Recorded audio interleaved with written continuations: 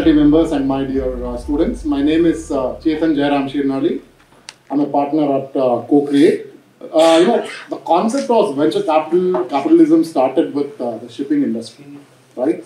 So this is as old as uh, insurance uh, industry, and one of the first VCs today also. By the way, today also they are present. Apparently, they are one of the largest private equity firms called KKR. They also have an Indian entity which has funded uh, tens of billions of dollars into a lot of uh, established uh, businesses. Just to give you a quick background about Co-Create, rather you know a quick background about myself. I've been a full-time VC for close to a decade now. Spent about a decade in uh, financial services industry, then got into consulting. Right, I used to work with a company called uh, International SOS. I used to be their uh, CEO for India, then became the uh, you know APAC head for uh, the region. Then I was leading one of the practices globally for mergers and acquisitions. That's where you know we were looking at acquiring uh, uh, you know some of the large hospitals in India, hospitals and clinics in India. That's where I kind of got bitten by this startup bug. Right, I uh, you know I was not fortunate enough like you guys to you know start my entrepreneurial journey at the age of maybe late uh, I know teenage or early twenties. I started my entrepreneurial journey at the age of forty, right? And uh, it's not an easy uh, call to become an entrepreneur at the age of 40, right? especially when you have commitment, when you have young children. I think uh, you know this is probably the best time to become an entrepreneur, right? I'm sure uh, many of you are in uh, third sem, fifth sem, and all, right? How many of you would want to become entrepreneurs here? I'm sure uh, you all would want to know about, right? If I give you money, what would you do? Say, for example, in co-create, you know, we normally give uh, up to one and a half crores to each of the startups, right? I'm sure uh, Shashank and team will uh, throw more light on that. So if I give you one and a half crores, what would you do? Uh, with about uh, 12 and a half crores of investment, they have clocked the revenues of over uh, 500 crores and still clocking revenues, right? So now uh, they raise in other languages as well. Just to go back to the you know genesis of co-create, right? If you look at uh, you know companies like uh, Google or Microsoft, Qualcomm, right? They all started as uh, student startups or campus startups, right? And today they are all headed by Indians. And this concept of incubation or acceleration is not new right?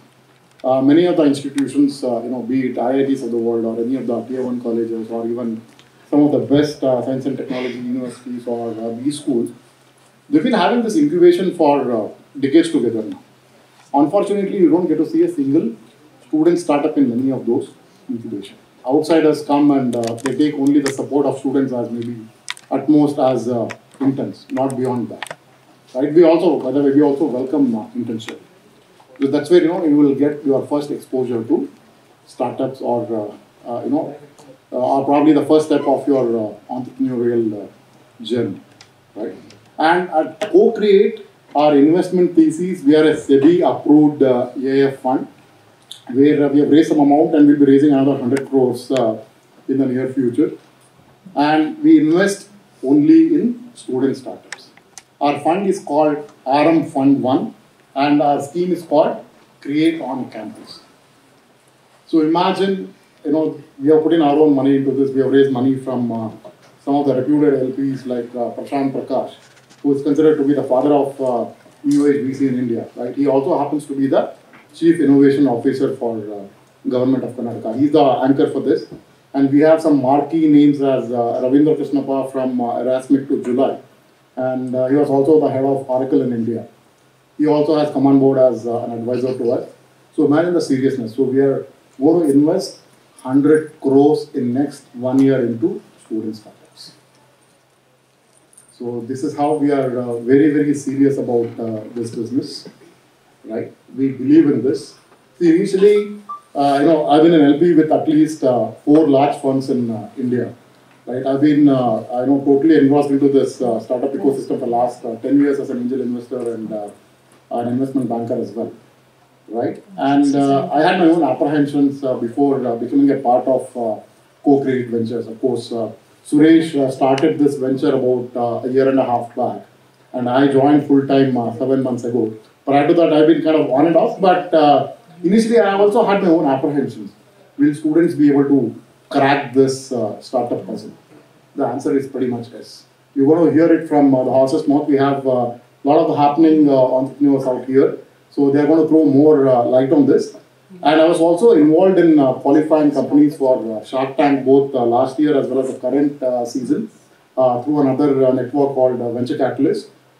Trust me, 80% of the applications, I repeat, 80% of the applications, the applicants were in the age group of 18 to 21 right? And uh, we have a good uh, uh, Bharat story. Uh, whatever you know is going to, whatever is happening globally in terms of the recession or the funding winter, right?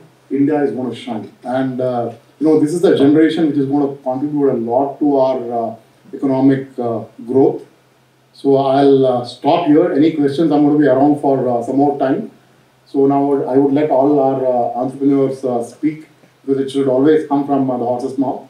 So I would uh, hand over the podium to Shashank. Thank you everyone. Thanks for listening. Any questions? I'm going to be around for some time. So happy to network with you all.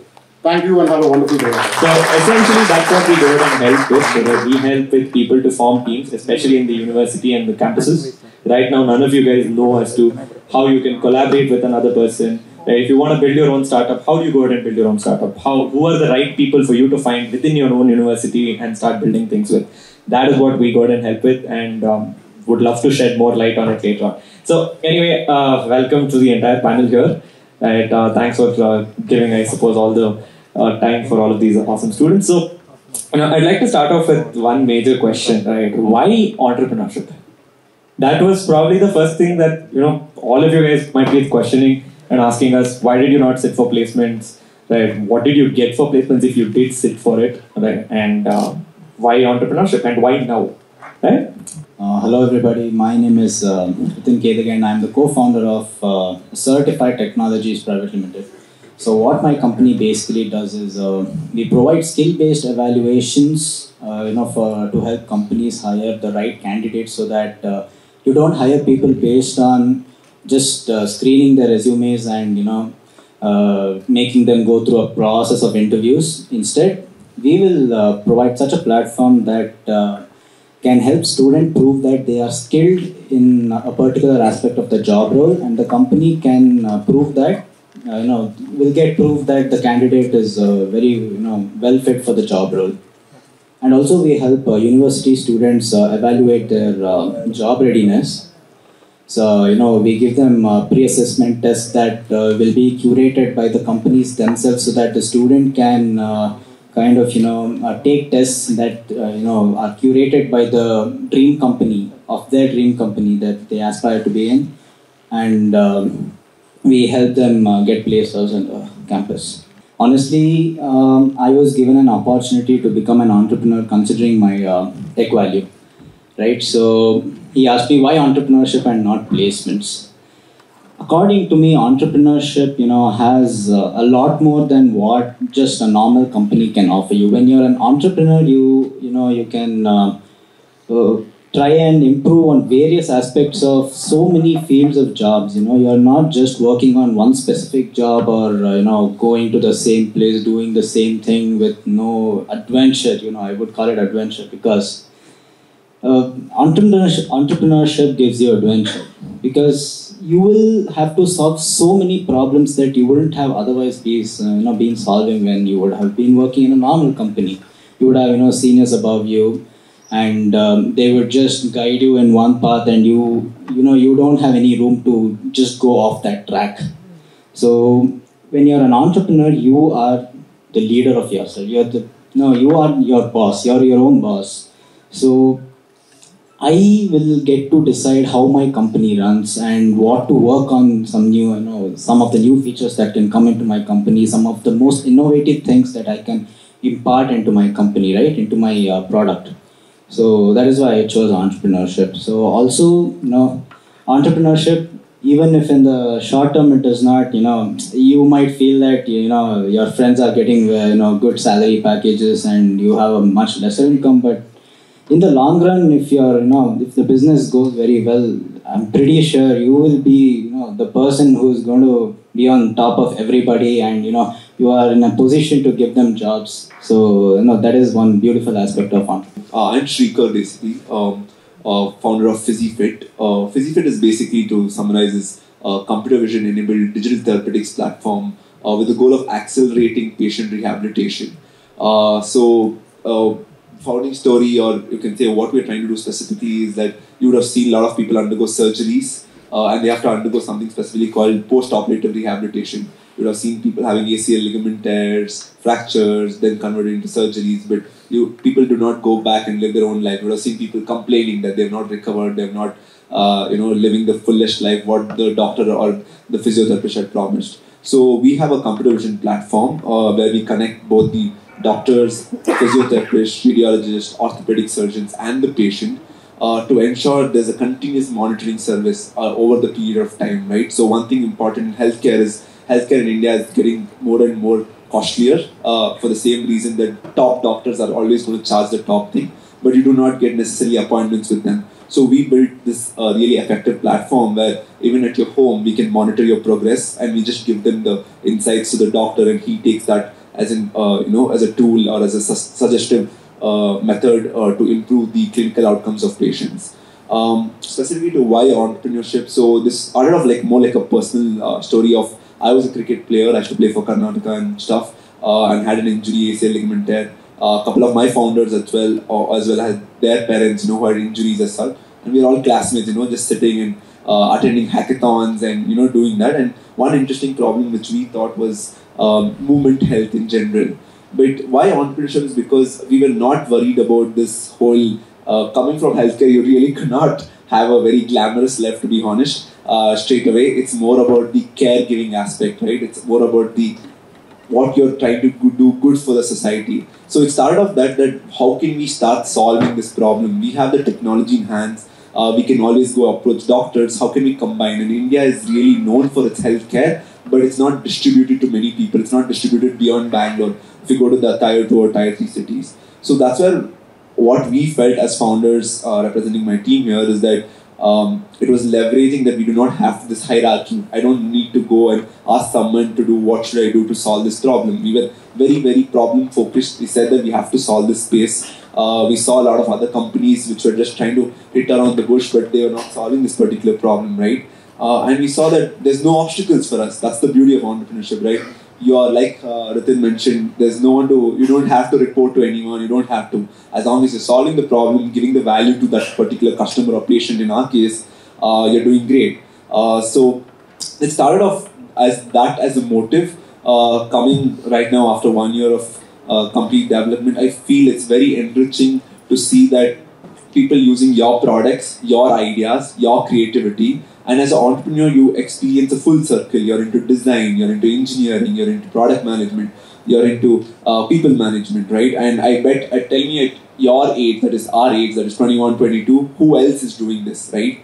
Uh, everyone else would just go and take up a normal job, which is completely fine, but you cannot grow 5x in that. You can't go 50x in that. So I feel uh, I can see more maturity among my own fellow entrepreneurs itself in the way we are thinking just one year into this. Uh, so that's what I would give as my biggest takeaway from this. Hey guys, my, my name is Sachin and uh, I'm a founding engineer at Consumer. Consumer is a powerful AI tool that is a market intelligence platform. We procure data from the internet. There's a lot of data on the internet, but just data on the internet doesn't make sense. So we help businesses and any products to make sense of that data. We help them identify their strong points, their strengths, pain points, granular based micro level insights and any trends that are going on the going on in the marketplace as well.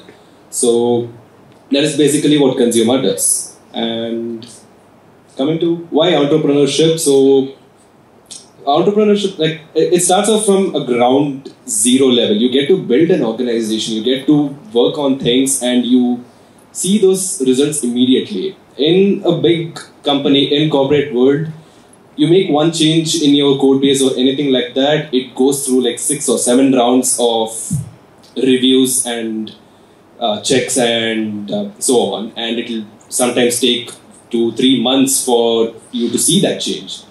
But what excites me is the changes I make or changes like what we do in our company in entrepreneurship is reflected immediately. It is very rewarding growth is really quick. It's like five times of 50 times, like Shrikar was saying. It's adventurous, it's fun, and you get to see a whole new perspective of things. Hey everyone, I'm Ananya, uh, Ananya Mugara, and these are my co-founders. You guys can lift your hands. yeah. So uh, we are building Smart Chakra. Smart Chakra is a startup in the automotive space. But a disclaimer, it's a startup in the automotive space where I'm a computer science engineer. So it's a multidisciplinary startup. And um, to answer your question first, why entrepreneurship?